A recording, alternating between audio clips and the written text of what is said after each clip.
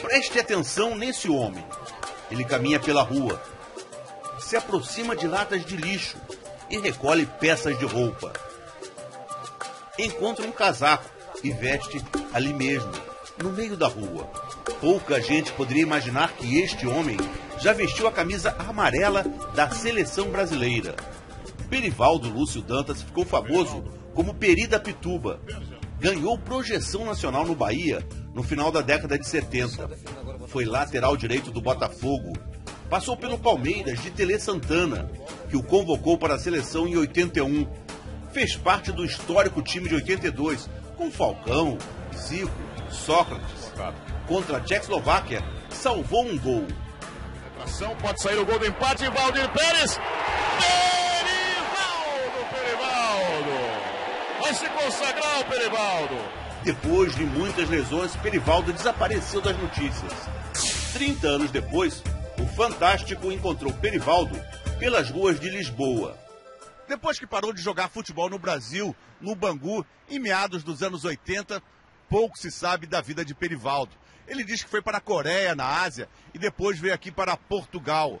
Nós procuramos a Federação Portuguesa de Futebol. E a informação oficial é de que não há registro de nenhum jogador brasileiro chamado Perivaldo Lúcio Dantas. Mas aqui, nessa feira de rua, conhecida como Feira da Ladra, é fácil achar Perivaldo vendendo sua mercadoria. Vamos embora, compadre. Aqui o que é bom aqui, se quiser coisa boa, tá aqui na banca do Peri da Pituba, cara. Perivaldo tinha fama de ser um jogador carismático e mesmo aqui ele continua extrovertido. 7 e 7 são 14, 3 vezes 7 é 21. Tenho 7 amor no mundo, mas não caso com nenhum Paraná. Paranauê, Paranauê, Paraná. Paraná. Perivaldo diz que vive da venda de peças de roupa. É, você não viu que os caras me chamou de Grifaldo? Mistura de grife com Perivaldo? Estou vendo que você tem dificuldade de vender algumas coisas, o comércio não está bom aqui na feira. Como agora chega, está chegando o inverno agora, tá vendo? Você tem que arrumar uma nova coleção. Como, onde é que você arranja as coisas para vender aqui? Rapaz, tem as lojas, você vai lá, tem as lojas de saldo, você começa a comprar e investir. Dá para você ganhar um bom dinheiro. Mais tarde, à noite, encontramos o lugar onde Perivaldo dorme. A gente descobriu então que Perivaldo, o ex-jogador do Bangu, do Palmeiras, do Botafogo, da seleção brasileira, hoje é um morador de rua em Lisboa. Muita gente aqui conhece o gajo. É? Muita gente. Conhece, conhece ele como vendedor ou como ex-jogador? Não, é jogador. É jogador. É. Eu, eu Ah, meu, tá, o pessoal todo aí, rapaz, sabe quem já fui eu assim mais ou menos. Perivaldo lembra dos tempos mais confortáveis, em que tinha artigos de luxo. Eu tinha meu bom relógio, que era um Rolex. Tinha um Rolex bom que custou para mim agora, no montado de português, uns 70 mil euros. Tinha um joia, tudo em joia, em joia tinha para mais de 200 mil euros.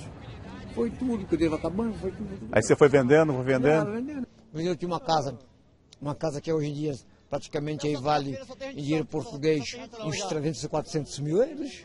Aqui em Portugal? Não, tinha lá no Brasil, era muito dinheiro. E, e, e as minhas luvas chegaram a 100 mil dólares por dois anos. Não cumpri, eu só fiquei lá parece que oito meses, nove meses, me deu vontade de vir embora, larguei tudo.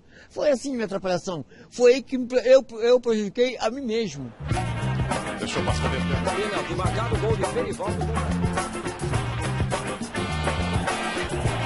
Falta do Perivaldo. Quando eu cheguei na seleção brasileira, Zico e Júnior foram os meus dois melhores amigos que me deram mais apoio.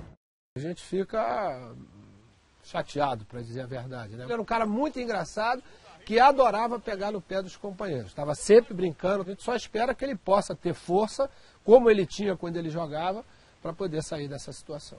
Por que, que você está com essa ideia de voltar para o Brasil, deixar É assim, Portugal? é, Sinto muita saudade da minha mulher também, da Virgínia, coisa e tal, assim, dos meus filhos. Os meus netos sempre estão me cobrando, meu pai, o meu, meu avô dali, meu avô daqui. Temos que abraçar o Perivaldo.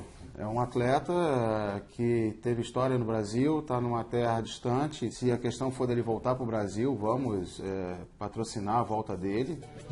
Espalhando alegria pelas ruas de Lisboa, Perivaldo espera pela volta ao Brasil. Renda, tu me ensina a fazer renda, que eu te ensino a namorar. Eu vou me embora daqui, eu aqui fico, mas não. Vou rever minha mãezinha, dona do meu coração. Vou rever minha mãezinha, dona do meu coração.